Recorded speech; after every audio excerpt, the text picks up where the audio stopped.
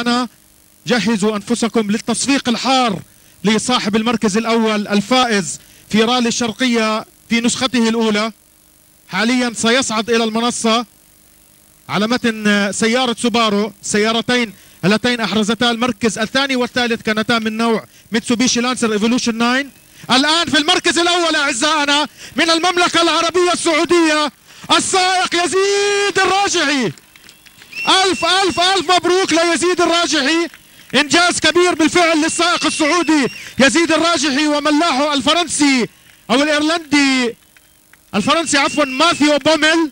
يزيد الراجحي إذا أحرز المركز الأول في الرالي بفارق 21 ثانية و200 بالألف من الثانية عن أمجد فراح. يزيد ابتدأ اليوم في المركز الثالث وتمكن طبعا في نهاية هذا اليوم من أن يتقدم ويحرز المركز الأول بكل جدارة واستحقاق يزيد لم يمضي على وجوده في الراليات عام واحد وهذا ثاني فوز دولي له هذا العام بعد الإنجاز الذي حققه في رالي الكويت الذي أيضا كان مرشحا للانضمام لبطولة الشرق الأوسط وبالفعل سيكون رالي الكويت في رزنامة البطولة العام القادم وهذا يعني أن يزيد فاز في الراليين المرشحين لدخول الرزنامة العام المقبل رزنامة الشرق الأوسط. إن كان رالي الكويت ورالي الشرقية حاليا.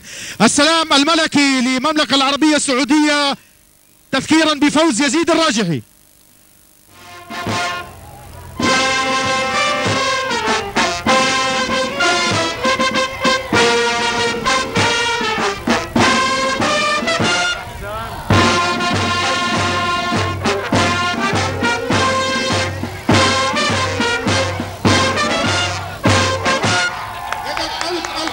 ليزيد الراجحي.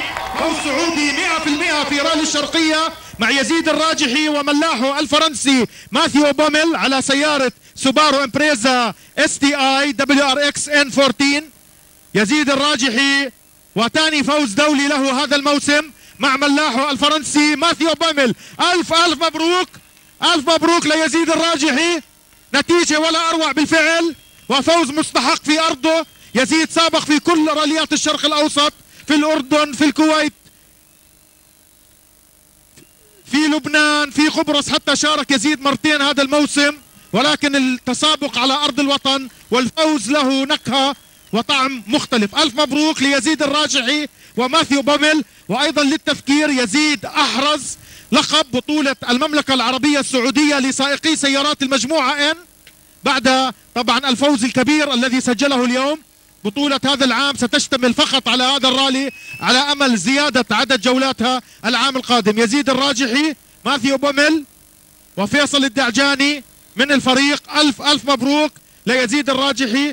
أيضا مبروك لماثيو بوميل الملاح الفرنسي الكبير الذي عرف كيف يتعامل بكل احترافية مع طرقات رالي الشرقية. هذا الرالي المنضم حديثا إلى عالم الرياضة الميكانيكية في الشرق الأوسط. يزيد الراجحي المركز الأول وكسر طبعا هيمنة آه، سيارات متسوبيشي على المركزين الثاني والثالث على متن سيارته الجديدة السوبارو امبريزا اس تي اي دبليو ار إكس إن 14 طبعا بعد هذا التتويج سيصطف السيارات الثلاث الأوائل إلى جانب بعضهم البعض لأخذ صورة جماعية لأصحاب المراكز الثلاث الأولى.